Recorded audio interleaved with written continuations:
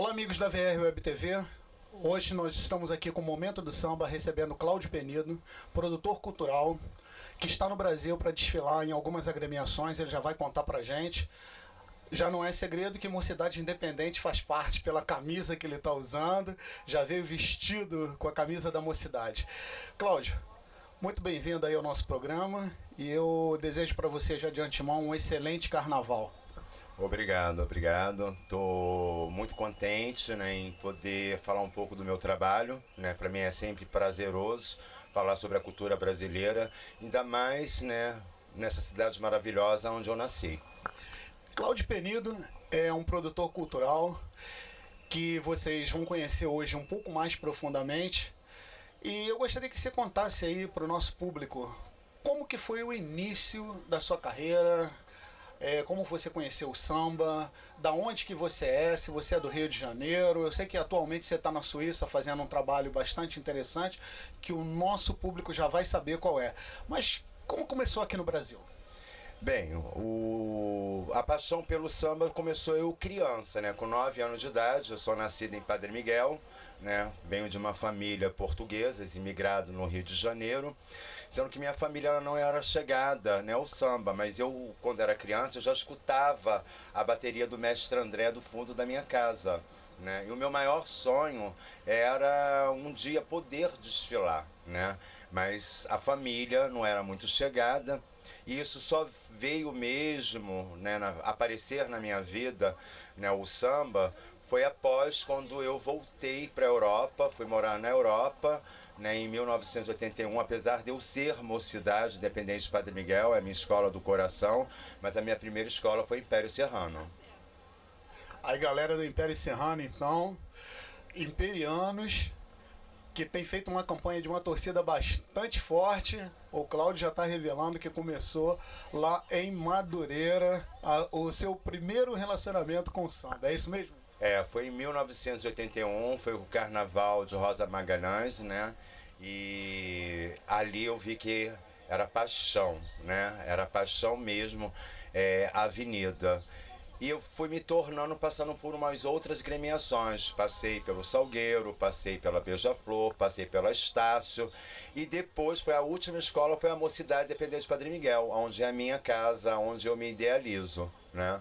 Aonde eu morro pela mocidade, eu me mato pela mocidade, é que é a minha grande paixão. E me tornei, passei por, to, por todo segmento ala de passista, é, é, composição, semi-destaque, e hoje sou um dos destaques né, que tem mais representatividade lá fora na Europa. Uma cidade também com torcidas bastante expressivas, torcida que comparece na Sapucaí, comparece na quadra, que aliás chamada Maracanã do Samba, né? Aquela quadra maravilhosa. É, Maracanã do Samba é uma quadra linda e eu costumo falar que o povo de Padre Miguel, eles não nascem, eles estreia, né? Porque através desse trabalho que eu faço hoje na Europa, que começou em 2013 através do convite de Rogério Tornellis.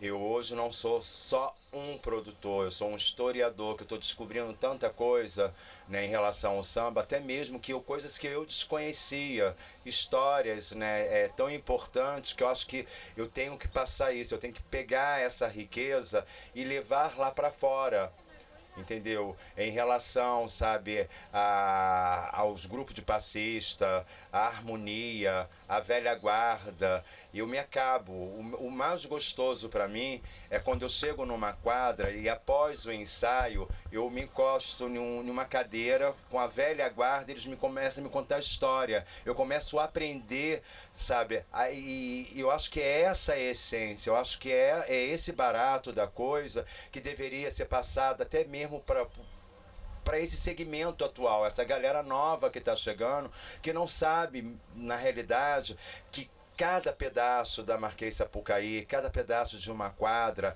existe uma história, existe um fundamento para chegar a esse grande espetáculo que hoje é considerado a maior festa do mundo, né?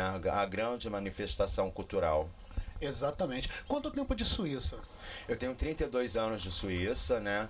Eu quando eu fui para a Europa, eu fui trabalhar como modelo, né? Passei por algumas marcas, né, de roupas e cheguei a trabalhar um grande estilista de moda. E depois eu entrei na parte de estética, clínica, coisa e tal.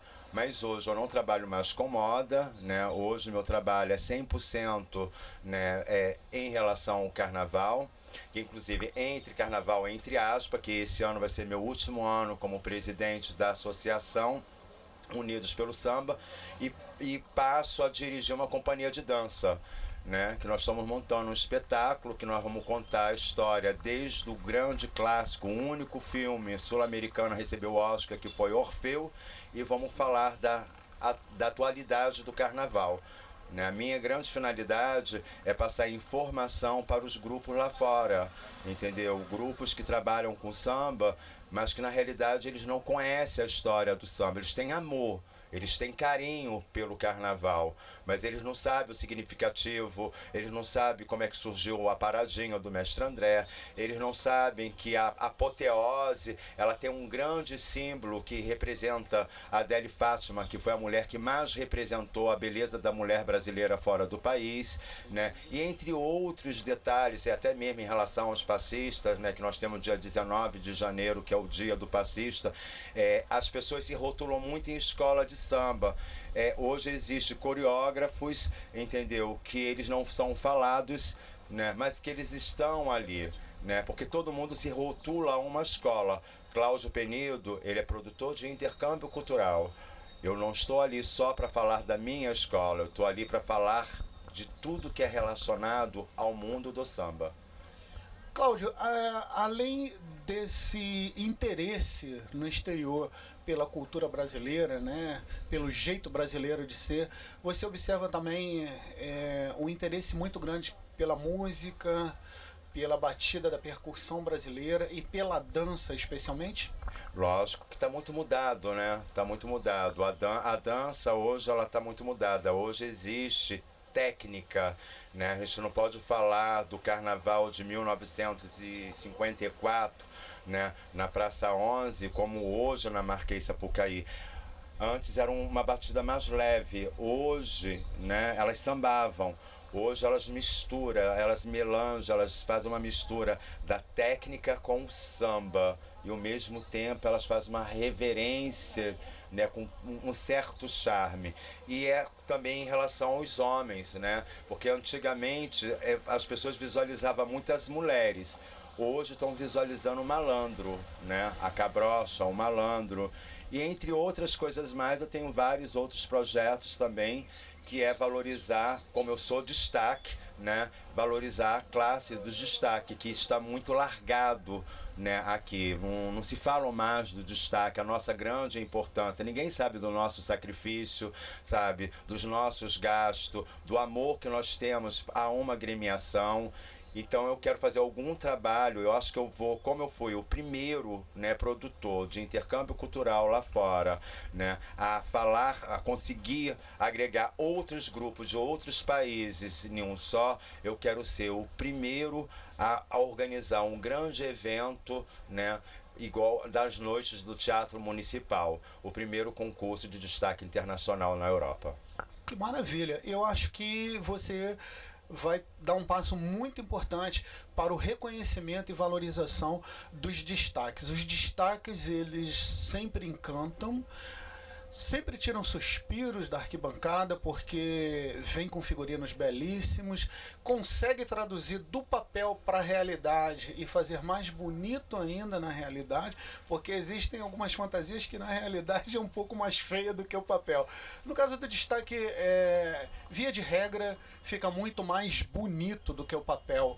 Então é interessante essa sua colocação, porque não só a dança isolada, não só a música isolada, mas você está pretendendo levar para um público que está totalmente leigo do carnaval toda uma história e toda uma retaguarda que muito pouca gente conhece, é isso?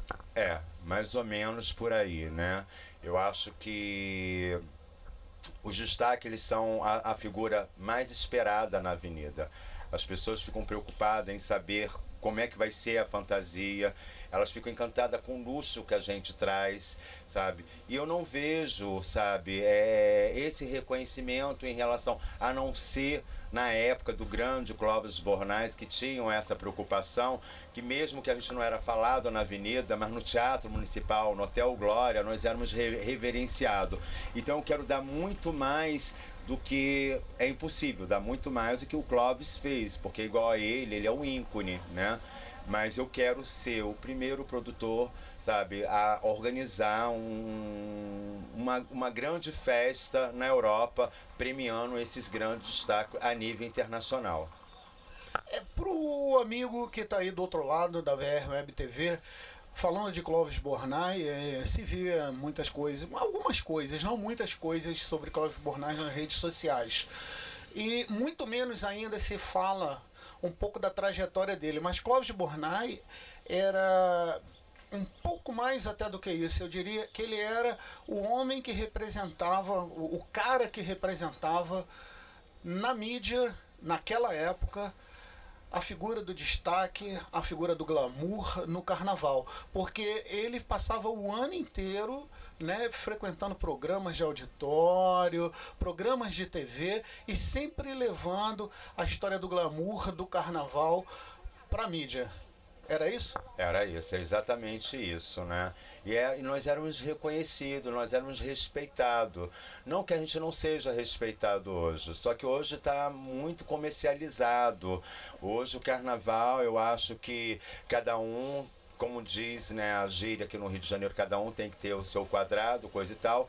Só que o destaque hoje em dia eu não, eu não, eu não vejo ele enquadrado nenhum. Eu não vejo ele ter esses reconhecimentos. Ficou muito pequenininho esse ficou quadrado. Muito pequ... Ficou muito pequenininho esse quadrado. Eu acho que todo, todo segmento tem, tem que ter o seu respeito, da velha guarda até a, aos fascistas. Eu acho que cada um tem que ter a sua reverência, tem que ter o seu respeito. Né? Sendo que eu não estou aqui para falar sobre né, as coisas em relação Poderia, porque eu sou um segmento de uma escola, eu sou um destaque de uma escola. A minha finalidade maior, eu vim buscar mais conhecimento, fazer mais laboratório, né? Estou pretendendo fazer uma universidade de carnaval na UFRJ. Eu quero pegar mais conhecimento porque eu quero levar isso lá para fora. Porque o que mais tem são brasileiros, europeus que gostam, amam da nossa cultura e passar esse, esse conhecimento para eles, entendeu? Eu acho que é por isso que o meu trabalho hoje está dando certo né, que eu consigo passar esse tipo de informação para aquela menina que ela é porta-bandeira e mestre sala, qual é a finalidade deles, eu consigo passar para aquela menina que trabalha com a dança lá fora, né, e para aquele grupo que quer montar um, um grupo de repercussão, que cada instrumento tem uma história, que cada batida é, é, é, é, diferente, é um swing diferente. Então eu tento passar tudo isso para eles e eles falam assim: Poxa, Cláudio, eu gosto tanto do seu trabalho, você faz com tanto amor, com tanta é, seriedade, eu quero participar.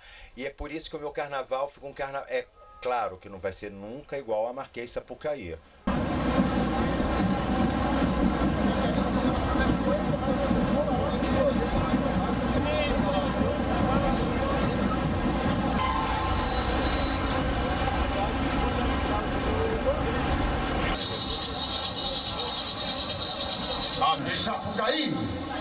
na esperança de um país melhor.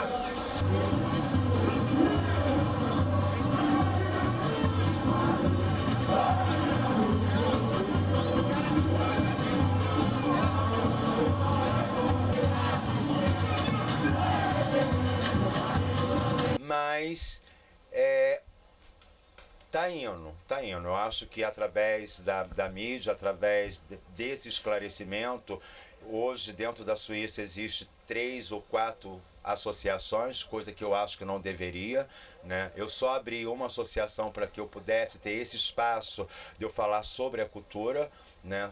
Falar sobre o samba eu acho que cada país deveria ser um grupo só que a gente pudesse fazer esse elo. O pessoal da Suíça ia para a França, o pessoal da França ia para Portugal, né? Povo de Portugal ia para a Espanha, fosse um grupo só, aí sim a gente poderia mostrar, sabe, muita coisa em um só grupo.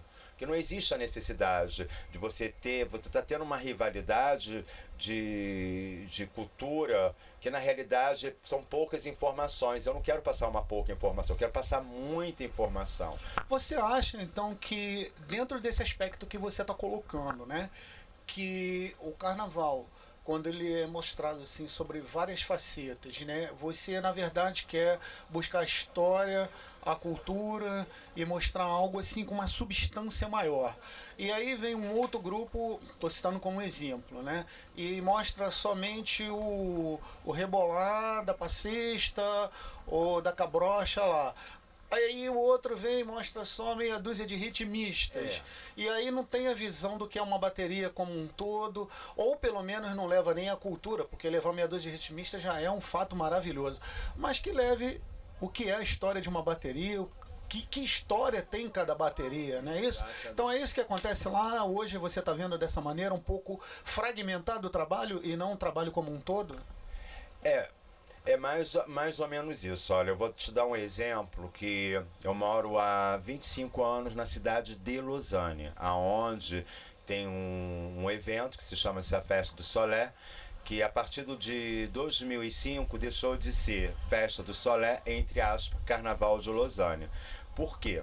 2005 foi a estreia, foi um presente que a Associação Unidos pelo Samba deu ao ex-presidente do conselho, levando um personagem do Carnaval Carioca, que foi Rogério Tornelles.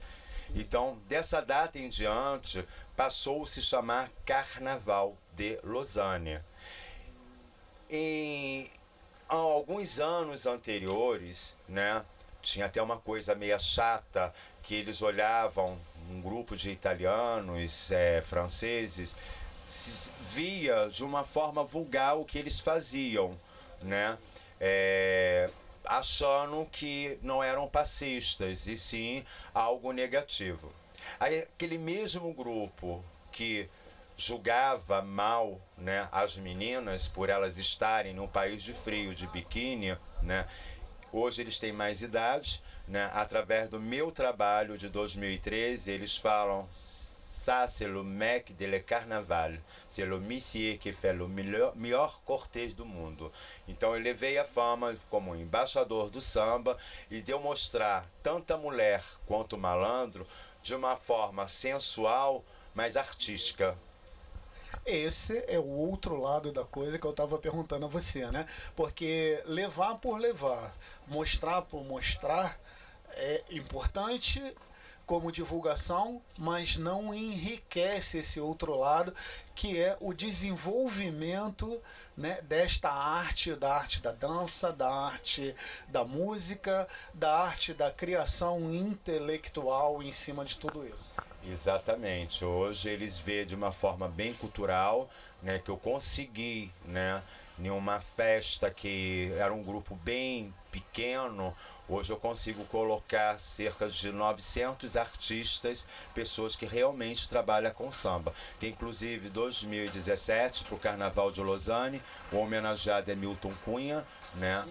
é o Milton Cunha, ele é o enredo da Unidos pelo Samba, aonde eu estou levando oito destaques de escola de samba, né? Tô levando várias rainhas, várias musas e vamos mostrar um carnaval bem rico, sabe? Ele bem elaborado. Eu, vamos, porque eu acho que é o mínimo, o mínimo, eu como cidadão brasileiro independente, de eu ter uma nacionalidade europeia, eu acho que é o mínimo que eu tenho que oferecer a um país que me recebeu de braços abertos. Mostrar a minha cultura, sabe, de uma forma muito é, rica, de uma forma lícita, clara, bonita, porque existe uma certa dificuldade que nesse período do carnaval é umas férias curtas. Então, a Europa não é como a pessoa fala que todo mundo tem dinheiro, vem com facilidade, não. A gente trabalha muito, entendeu? E existe uma certa dificuldade. O Brasil não é um país barato né, para se fazer férias, né? Ao contrário que muitos acham, não é um país barato. Então eu quero mostrar, eu quero levar e que eles vejam de perto é aquela magia, sabe, de você pegar uma fantasia no papel e transformar ela numa coisa enriquecedora, né? Já tem quatro anos que eu estou fazendo isso e esse ano vai ser muito mais enriquecedor ainda, porque esse ano são com oito destaques de luxo. Eu queria voltar a essa, essa sua observação né, e afirmação que está levando oito destaques é, para a Suíça, para uma festa. E eu quero voltar à questão do destaque.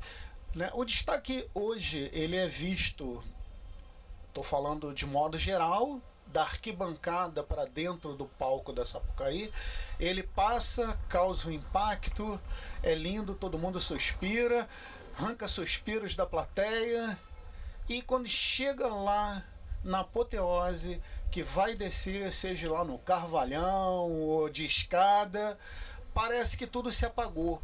Mas o destaque, ele é uma parte importante do enredo, ele é a ilustração do enredo, que eu não consigo ver a escola de samba sem alegoria, não consigo ver a alegoria sem destaque. Não. Né? Então ele é importantíssimo porque ele conta a história, ele vem com as cores desse enredo, ele vem com todo um trabalho de luxo, de glamour, mas contando toda uma história dentro daquele daquela hora que passa a escola, né? Esse ano mudou a regra, mas é é isso. Então eu queria que você me falasse um pouco, você como destaque, dessa visão da confecção da fantasia. Uns fazem, outros encomendam, né? Tem os seus estilistas, os seus figurinistas que desenvolvem a fantasia, mas com certeza todos.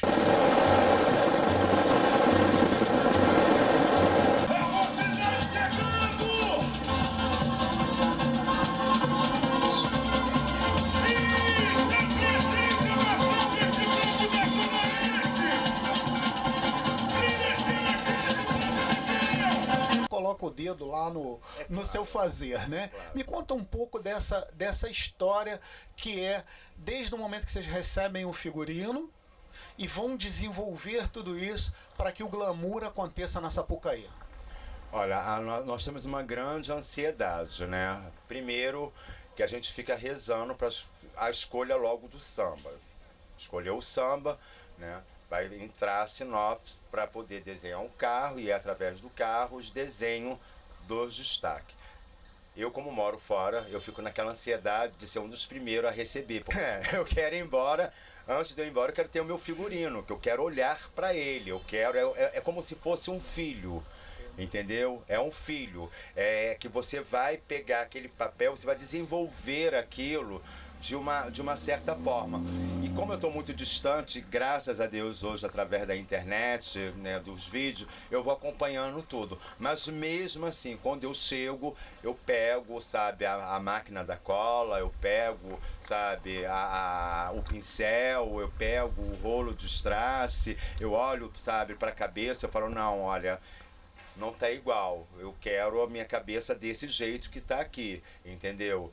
E é muito prazeroso, é muito. Queria eu ter o dom, né, do meu estilista, que é Marcos Leroy, ele que desenvolve a minha fantasia todinha, né? Eu queria eu ter esse dom. Eu, pelo momento, eu só pago, né? Mas mesmo assim, eu bordo alguma coisa, sabe? É uma preocupação com o salto, é uma preocupação com a maquiagem, é uma preocupação que a gente quer ficar intacto. Nós queremos dar o um melhor não só para satisfazer o nosso ego, né, mas também para satisfazer o ego, sabe, da no público em geral, sabe? E deu de eu ser, pelo menos, receber, sabe, uma parabenização do meu vice-presidente, do meu presidente da minha escola, e eu que tenho uma, uma, uma, pardon, eu que tenho uma finalidade muito grande com a minha comunidade. E eles sempre falam, Cláudio, você arrasa, né?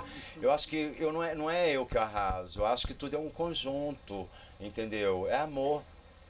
É amor. E seria bom que todos vissem esse, essa ideia do conjunto, né? Por isso que eu estou tocando na questão desde a confecção. Em primeiro lugar, você está em excelentes mãos, né? Marcos Leroy, é, além de ser o nosso amigo aqui da VR também, teve com você recentemente, vi fotos lá na Suíça, tem pouco tempo atrás, uns seis meses atrás, não é isso?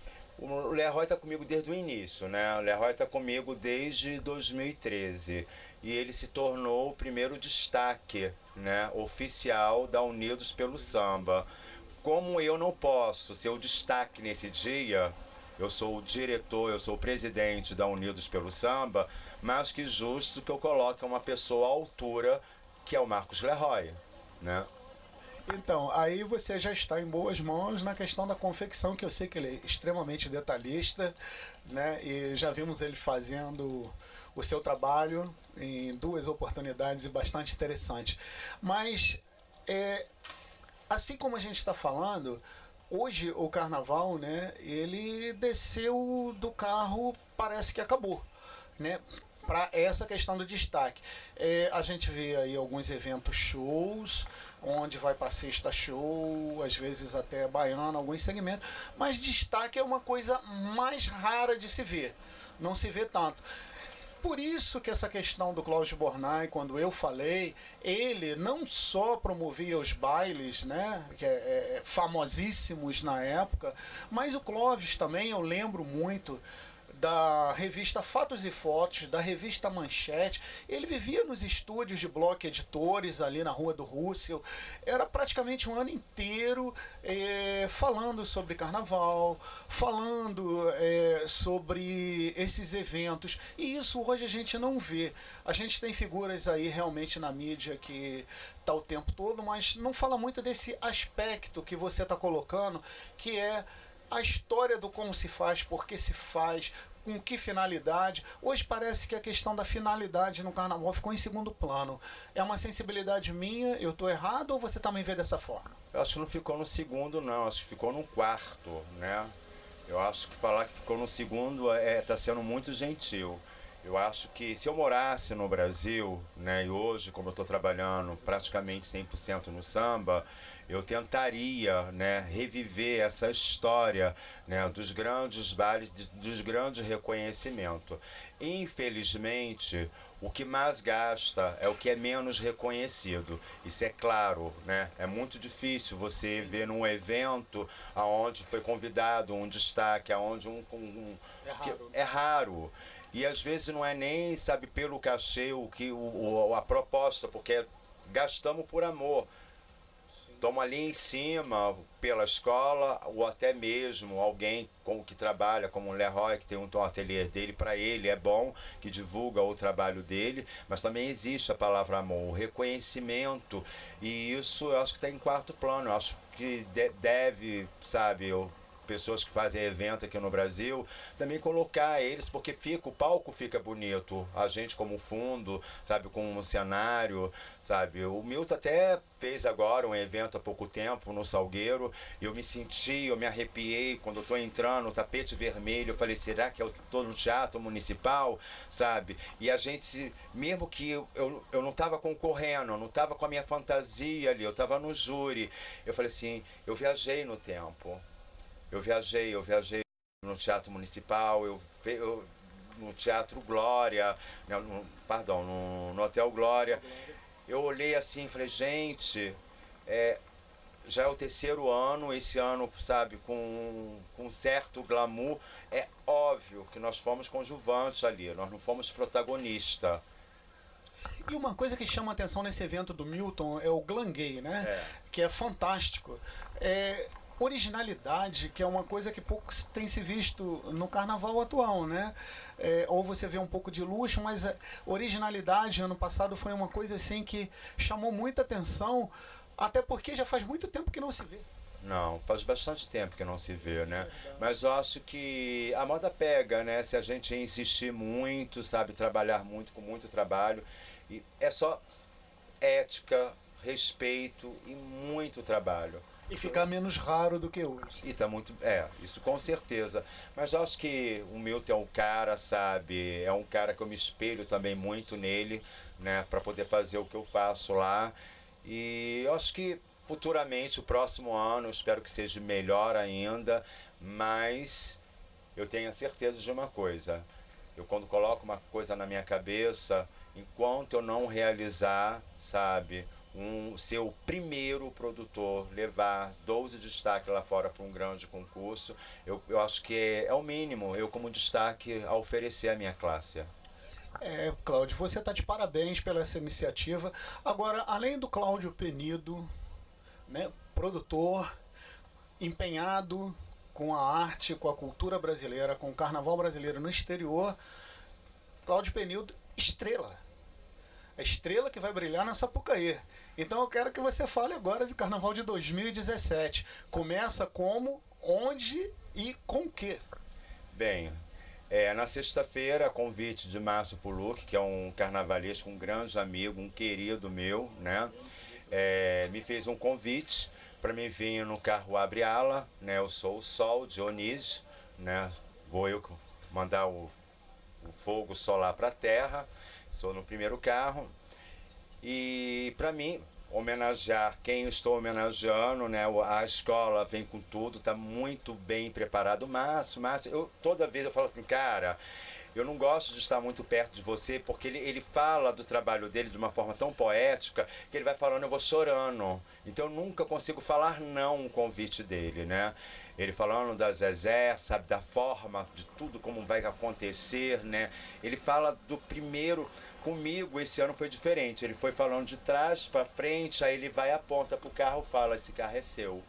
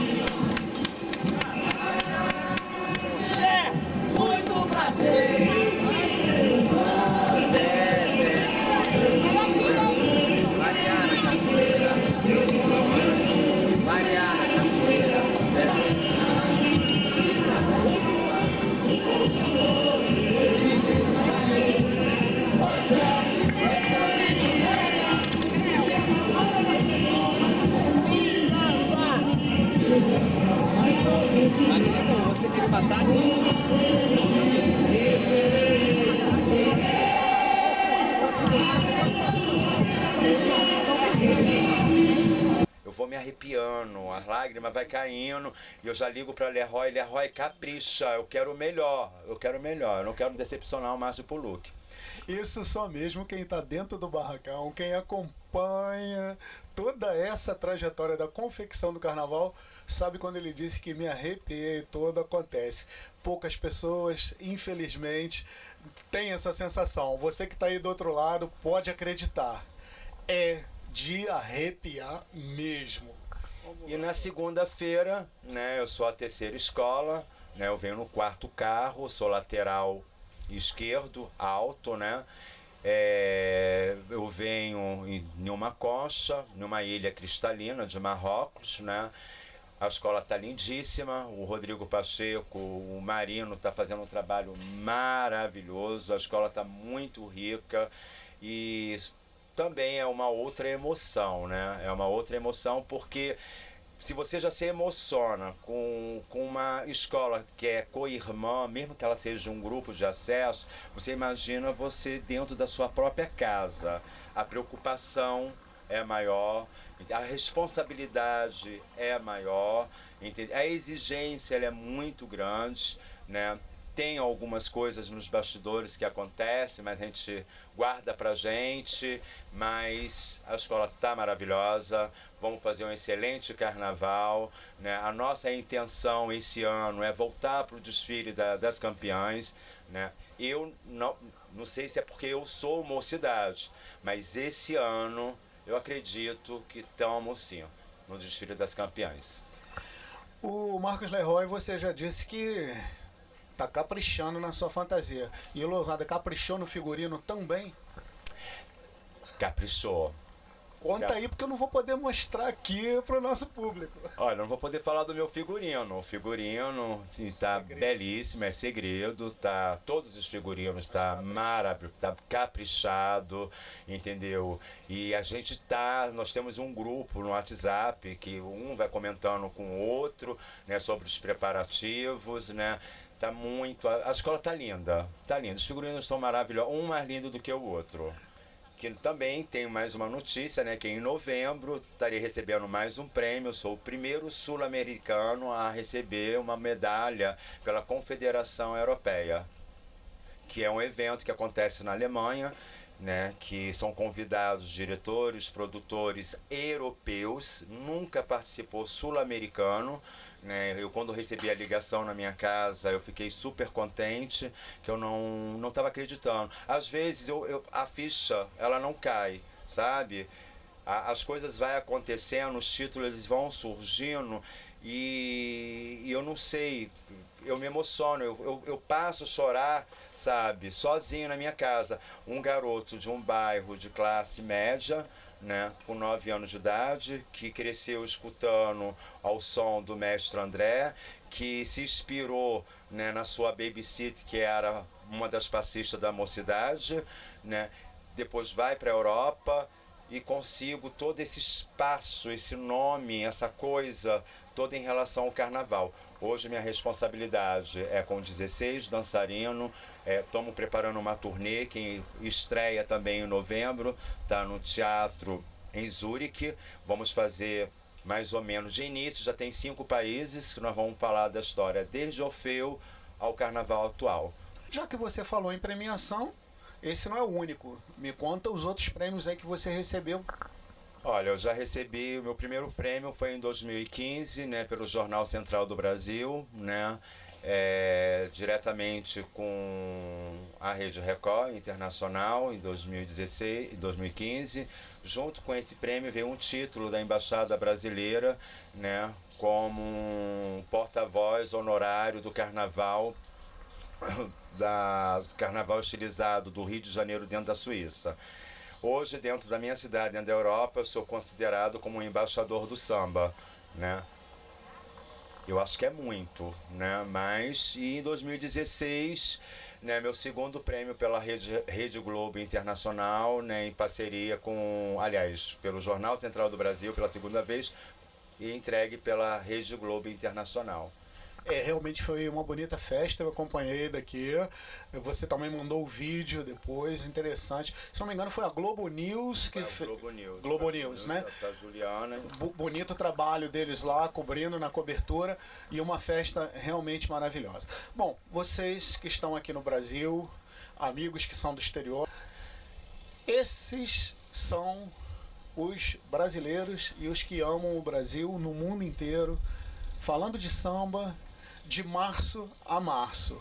Cláudio Penido, produtor, um homem que está preocupado com a cultura, um homem que está preocupado em levar uma parte do Brasil com seriedade e responsabilidade para o exterior, mais do que fazer uma apresentação, contar uma história e traçar todo um perfil de uma cultura. Isso é fato raro. Você está de parabéns pelo seu trabalho, parabéns por toda a premiação e eu queria que você encerrasse esse seu depoimento para a VR Web TV, dando um recado para todo o nosso público sobre o carnaval, sobre as suas expectativas, sobre 2017 e o que, que você espera, tanto na Sapucaí quanto na sua vida em 2017. Bem, eu gostaria de agradecer o carinho, a oportunidade a você, né, principalmente, a toda a equipe, né, de, de eu poder falar do meu trabalho. O que eu espero? Espero ser campeão, né? Se der para me ser campeão, quero ser campeão. E espero levar mais informação para a Europa e trazer várias outras é, outros prêmios para o Brasil, que para mim é muito prazeroso representar a minha cultura, representar o meu, meu país e falar que brasileiro, ele não fica à toa. Nós trabalhamos, corremos atrás e mostramos a cultura de uma outra forma. Cláudio, muito obrigado. Eu que agradeço. Você está de parabéns e vamos torcer Mocidade Independente de Padre Miguel, sossego na sexta-feira e torcer para que esse trabalho seja cada vez mais campeão lá no exterior. Um grande abraço. Eu que agradeço o seu carinho, espero, sabe, estar tá sempre quando puder, você me dá uma nota, sabe, eu sei do próximo prêmio, né? Eu vou trazer o prêmio para o Brasil, que para mim, eu acho que é meu prêmio maior, que eu nunca esperava receber essa medalha.